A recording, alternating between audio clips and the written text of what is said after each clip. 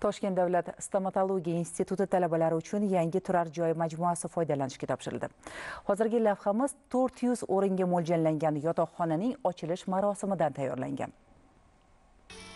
Hozirda toshkent davlat stomatologiya institutida besh ming yetti yuz nafardan ortiq talabalar tahsil olmoqda. Ularning ikki ming uch yuz nafarga yaqinini respublikamizning olis hududlari va xorijiy davlatlardan kelib ta'lim olayotgan yoshlar tashkil qiladi. Talabalarga qulay shart sharoit yaratish maqsadida to'rt yuz o'rinli talabalar turar joyi to'liq rekonstruksiya qilinib foydalanishga topshirildi. Talabalar turar joyimizda nafaqat bizani o'zimizni butun respublikamizdan kelgan talabalarimiz balki xorijiy talabalarimiz ham istiqomat qilishadi va bularni yashashi uchun hamma shart sharoitlar mujassam. Alohida ma'naviyat xonasi alohida axborot resurs markazi uchun joy ajratildi. Virtual biblioteka hamda bizani e, badiiy adabiyotlarimiz ilmiy adabiyotlarimiz bilan boyitildi. Bundan tashqari alohida kompyuter xonalarimiz va sport bilan shug'ullanishlari uchun ham sport e, xonalari talabalarimiz bo'sh vaqtda bemalol sport bilan shug'ullanishlari mumkin. Bundan tashqari ma'naviyat xonamizni yana qo'shimcha xona sifatida bu musiqa asboblari bilan ham boyitildi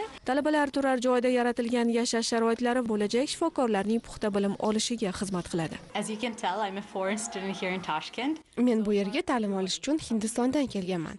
Albatta boshqa davlatga kelib o'qish, yashash, u yerdagi sharoitlarga ko'nikish boshida xavotirli bo'ladi. Kelishimdan oldin men va oilamda ham shunday xavotirlar bo'ldi.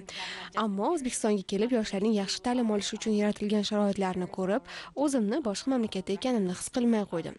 Bizga yaxshi imkoniyatlar yaratilgan. Nazariy bilimlarimizni klinikalarga biriktirilgan holda amaliyot bilan birga olib boryapmiz. Bugun esa bizni xursand qiladigan yana bir qulaylik zamonaviy sharoitlarga ega turar joy binosi topshirildi.